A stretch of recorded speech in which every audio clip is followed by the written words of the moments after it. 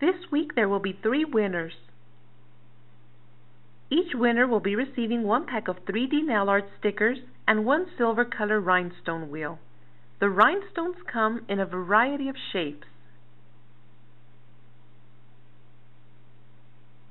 Each of the 3D sticker packs has different designs. I will randomly be choosing which goes to each winner. Winners will be announced this coming Sunday. Hello, it's Tuesday time for our weekly contest question. This week's question is, I would like you guys to post in comment. what time do you wake up every day and what time do you fall asleep every night? I wake up every day at 7.30 and I have this funny alarm clock. It's an egg-shaped alarm clock and the little chick pops up and starts making this really loud noise. So that's what wakes me up every morning and I wake up at 7.30 and the time I go to sleep every night is at from 10.30 to 11 and I watch a little bit of TV and then I fall asleep. And I know they say you shouldn't even have a TV in your room, but I really enjoy watching TV before I fall asleep.